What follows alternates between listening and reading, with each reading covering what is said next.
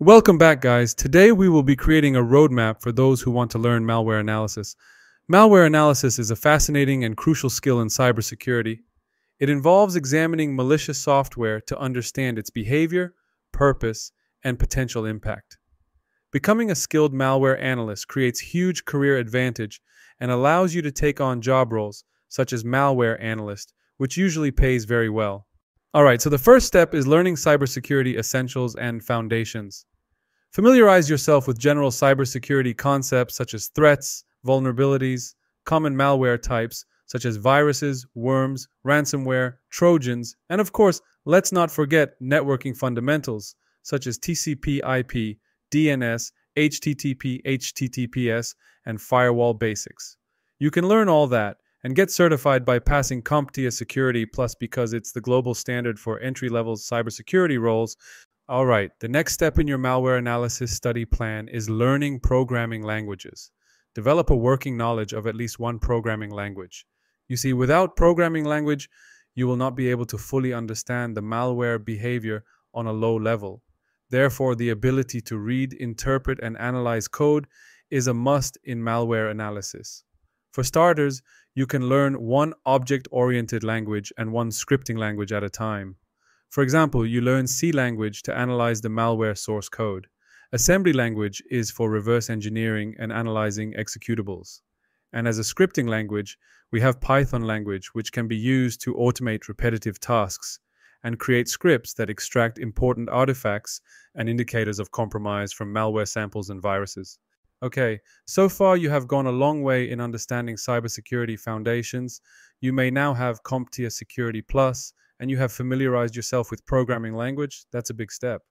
But that's not all. You also need to dive deep into the structure and behavior of Windows and Linux operating systems so that you know where to look within the OS for indicators of compromise. For example, in Windows OS, focus on processes, threads, memory management, registry, and file systems. In Linux OS, concentrate on file system structure, commands, cron jobs, and permissions.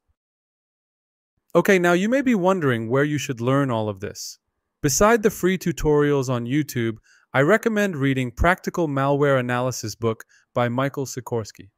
Additionally, TryHackMe is a great platform to learn every single subject in cybersecurity, including malware analysis. You can take advantage of learning paths that offer a certificate of completion at the end. Hack the Box is another great platform to learn cybersecurity.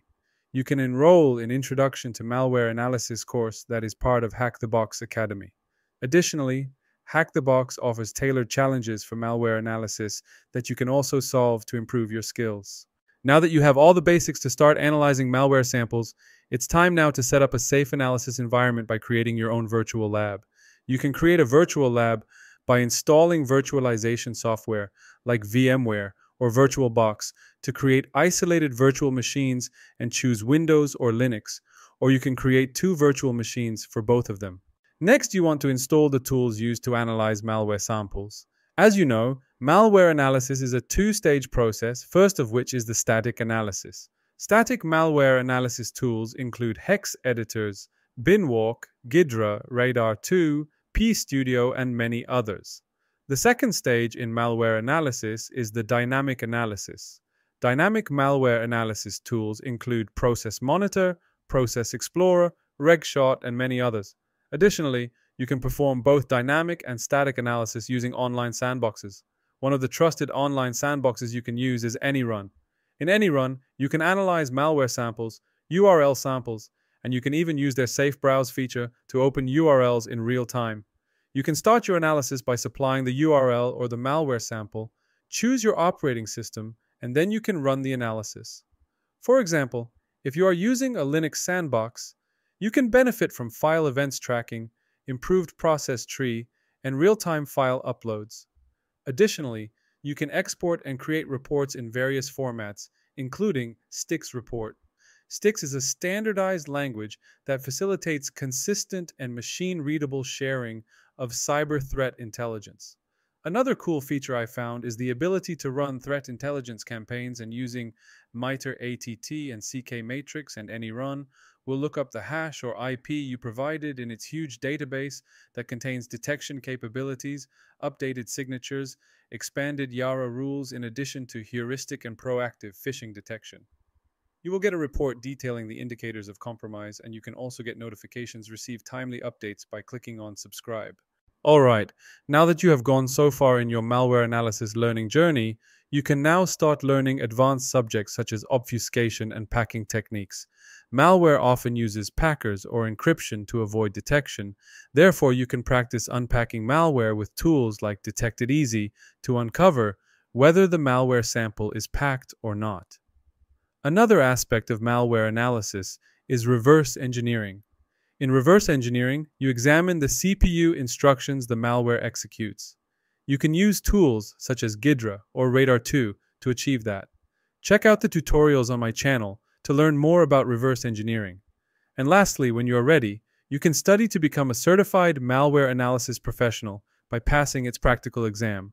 All right, how long does it take to learn malware analysis so that you can start applying for malware analyst positions? Well, I would say it would take from six months into two years to become fully ready to take on malware analyst positions. Of course, it depends on where you are right now in cybersecurity and your study plan. Feel free to drop any questions you have in the comments section of this video. Thank you for staying till the end.